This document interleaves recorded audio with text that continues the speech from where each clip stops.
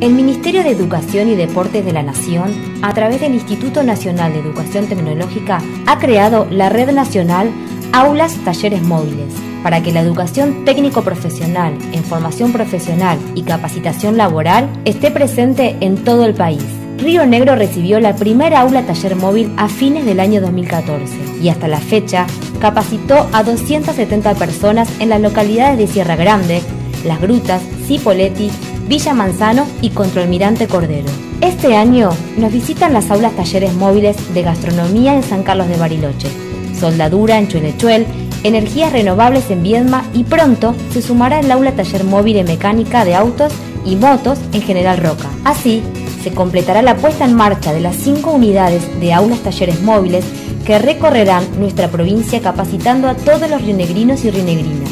Además, el Ministerio de Educación y Derechos Humanos está trabajando para llevar las aulas a las localidades de Ingeniero Jacobasi, Darwin y Dinahuapi. Nación, provincia y municipios juntos. Gobierno de Río Negro, en cada lugar, siempre.